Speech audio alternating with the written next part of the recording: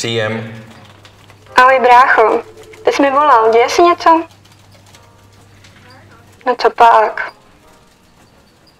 Ty jsi zase lidem říkal, co děláš v práci? No jo, no. Co jsi řekl? Pravdu.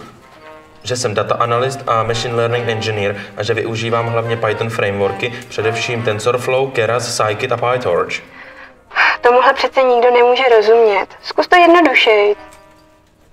Jsem Python vývojář se specializací na strojové učení. Zkus to říct jako někomu, kdo si myslí, že Python je had v zoo. Prostě vyrábím umělou inteligenci. No vidíš, jak to pěkně zvládnu. Tak ahoj. U Blue Ghostu nám radit nemusíte.